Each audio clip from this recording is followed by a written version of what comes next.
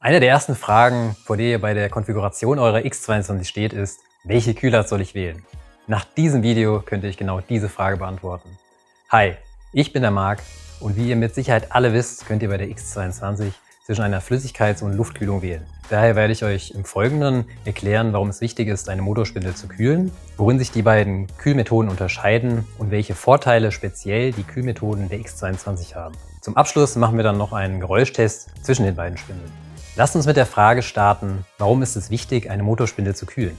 Diese Frage lässt sich ganz einfach beantworten. Die einer Spindel zugeführte elektrische Leistung wird nicht komplett in mechanische Energie gewandelt. Wie jeder Motor arbeitet auch die Spindel in der Praxis nicht verlustfrei. Die Verluste unterscheiden sich dabei in Motor- und Lagerreibungsverluste, die in Form von Wärme über Komponenten wie Welle, Lager oder das Gehäuse an die Umgebung abgegeben werden. Die Wärme kann, wenn sie nicht richtig abgeführt wird, nicht nur zu einer ungewünschten thermischen Längendehnung der Spindel führen, die einen Einfluss auf die Fertigungsgenauigkeit hat, sie kann im schlimmsten Fall auch zu einer Beschädigung von Motor und Lagern führen. Daher ist es enorm wichtig, eine Spindel zu kühlen. Aber worin unterscheiden sich jetzt die beiden Kühlmethoden? Der maßgebliche Unterschied ist das Fluid, das als Kühlmedium verwendet wird. Bei einer Flüssigkeitskühlung wird ein Kühlmittel verwendet, bei der Luftkühlung die Umgebungsluft. Um euch den Unterschied besser erklären zu können, habe ich hier eine flüssigkeitsgekühlte und eine luftgekühlte X22, den jeweiligen Kühlkörper dieser Spindel und das jeweilige Zubehör. Bei einer flüssigkeitsgekühlten Spindel wird mittels dem Kühlgerät X-Cool das Kühlmittel durch Schläuche in die Spindel gepumpt. Dort strömt das Kühlmittel dann die Kühlkanalhelix bis nach unten, nimmt auf dem Weg die Verlustwärme von Motor und Lagern auf strömt wieder nach oben zurück in das Kühlgerät. Dort wird das Kühlmittel wieder heruntergekühlt und der Kreislauf beginnt von vorne. Bei den luftgekühlten X22 wird mittels einem 24-Volt-Lüfter von EBM Papst, der sich hier hinten in der Spindel befindet, die Umgebungsluft angesaugt, strömt dann hier durch die axialen Kühlkanäle, nimmt die Verlustwärme von Motor und Lager auf und strömt vorne wieder raus. Jetzt wisst ihr, wie die jeweilige Kühlmethode funktioniert und daraus lassen sich jetzt sehr gut die jeweiligen Vorteile ableiten.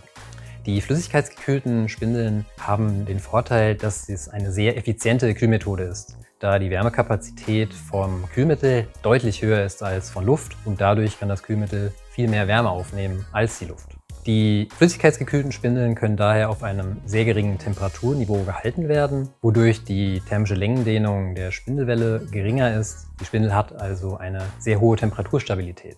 Das Kühlmittel kann mit einem aktiven Kühlaggregat auch zur Temperierung der Spindel verwendet werden, was diesen Effekt noch einmal verstärkt. Die flüssigkeitsgekühlten Spindeln können auch bei sehr hohen Umgebungstemperaturen verwendet werden, da die Luft nicht direkt zum Kühlen der Spindel verwendet wird, sondern zum Kühlen des Kühlmittels innerhalb des Kühlgeräts. In Kombination mit einem aktiven Kühlaggregat können die Spindeln also bei extrem hohen Umgebungstemperaturen eingesetzt werden.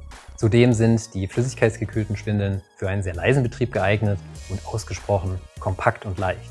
Das vollständig geschlossene Gehäuse sorgt mit IP54 für eine absolute Dichtheit Dadurch sind die Spindeln auch für den Einsatz bei Anwendungen mit Kühlschmierstoff geeignet. Bei den flüssigkeitsgekühlten Spindeln gibt es auch keinen Wärmeeintrag in das Werkstück, da die Verlustwärme über das Kühlmittel nach außen abgeführt wird, was hingegen bei den luftgekühlten Spindeln nicht der Fall ist, da dort die warme Luft vorne auf das Werkstück geblasen wird, wodurch sich dieses erwärmt. Als letzten Punkt kann man noch nennen, dass die Kühlmitteltemperatur sehr gut als Prozessparameter geeignet ist, was vor allem von Vorteil ist, wenn ihr in eure Spindel keine Temperatursensorik konfiguriert habt. Das war es mit den Vorteilen der flüssigkeitsgekühlten Spindeln.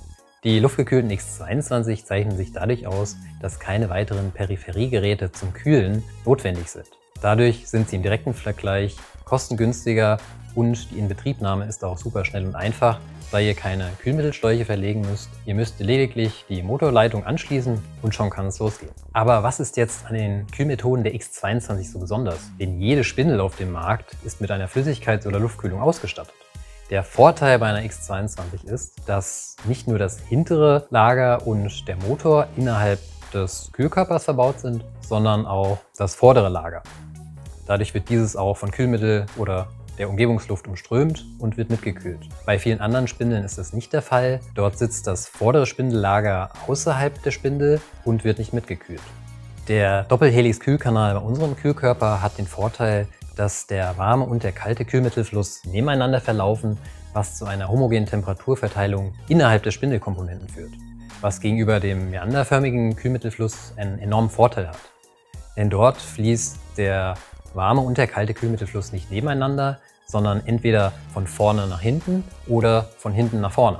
Die meisten luftgekühlten Spindeln sind meistens auch mit einem Zwangslüfter ausgestattet, der auf der Spindelwelle sitzt, der dann mit der Drehzahl der Spindel dreht. Die Kühlleistung ist somit abhängig von der Drehzahl der Spindel und bei besonders niedrigen Drehzahlen ist diese dann nicht besonders hoch. Das ist besonders im Störfall sehr kritisch, denn sollte die Spindel wegen Übertemperatur abschalten, wird sie nicht weiter gekühlt und die Wärme kann nicht abgeführt werden. Zudem sind die Spindeln mit Zwangslüfter extrem laut, wobei ihr bei den luftgekühlten X22 den Vorteil habt, dass ihr die Drehzahl des Lüfters über die Spannung einstellen könnt, wodurch ihr den Geräuschpegel senken könnt. Es ist auch denkbar, eine Temperaturregelung einzusetzen, um auch die luftgekühlten Spindeln zu temperieren. Wir haben bei der Auslegung der X22 besonders darauf geachtet, sowohl bei der Flüssigkeitskühlung als auch der Luftkühlung für eine optimale Wärmeabfuhr zu sorgen. Daraus resultiert einer der entscheidendsten Vorteile der Kühlmethoden der X22, denn ihr könnt nicht nur die flüssigkeitsgekühlten, sondern auch die luftgekühlten Spindeln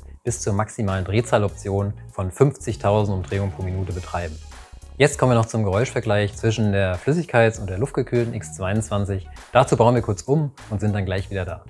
So, starten wir mit der Geräuschmessung. Dazu werden wir einmal die flüssigkeitsgekühlte und einmal die luftgekühlte im Stillstand messen und danach werden wir beide Spindeln bei jeweils 30.000 Umdrehungen pro Minute messen. Starten wir mit der flüssigkeitsgekühlten. Dazu werde ich das Kühlgerät erst einmal anschalten.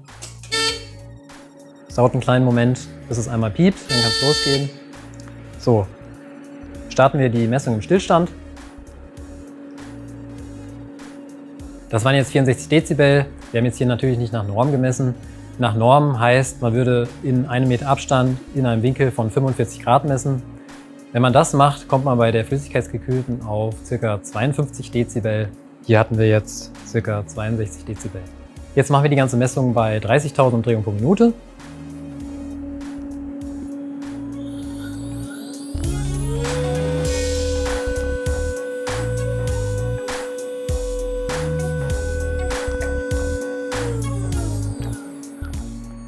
Da haben wir jetzt hier ca. 73 Dezibel.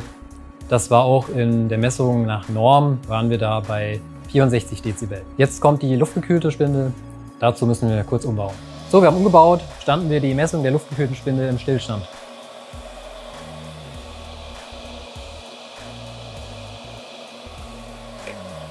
Wir haben jetzt ca. 68 Dezibel. Das war in der Messung nach Norm ca.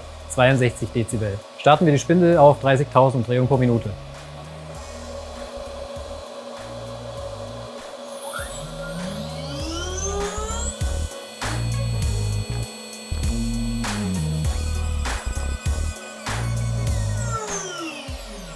Das waren ca. 72 Dezibel und in der Messung nach Norm waren das ca. 66 Dezibel. So, fassen wir die Messung nochmal zusammen. Dazu nenne ich euch die Werte aus der Messung nach Norm. Die flüssigkeitsgekühlte Spindel im Stillstand hat 52 Dezibel, die luftgekühlte Spindel im Stillstand hat 62 Dezibel, die flüssigkeitsgekühlte Spindel bei 30.000 hat 64 Dezibel und die luftgekühlte Spindel im, bei 30.000 hat 66 Dezibel. Ihr seht, die flüssigkeitsgekühlte Spindel ist im Vergleich leiser. Kleine Anmerkung noch zum Schluss, dieses Display, was ihr jetzt hier gesehen habt, das findet ihr auch im Shop. Ist eine ganz interessante Sache, wenn man nicht direkt am Umrichter die Drehzahl einstellen möchte, sondern über dieses Display. Das wird über ein Netzwerkkabel angeschlossen und dann kann es losgehen. Zusammenfassend lässt sich sagen, dass die flüssigkeitsgekühlten Spindeln doch schon einige technische Vorteile haben, die häufig in industriellen Anwendungen gefordert sind. Das kompakte, leichte und vollständig geschlossene Gehäuse sowie der sehr leise und äußerst genaue Betrieb sind hier als wichtigste Punkte zu nennen. Die luftgekühlten X22 sind das einfachere und kostengünstigere System, lassen sich aber gleichwertig verwenden, wenn bei den entsprechenden Anwendungen auf die gerade genannten Vorteile verzichtet werden kann. Ich hoffe, die Tipps helfen euch weiter, für eure Anwendung die passende Kühlmethode zu finden. Schreibt gerne in die Kommentare, welche Kühlmethode euer Favorit ist. Wenn ihr euch noch unsicher seid, ruft an, wir beraten euch gerne weiter. Das war's mit diesem Video. Macht's gut, bis zum nächsten Mal. Ciao.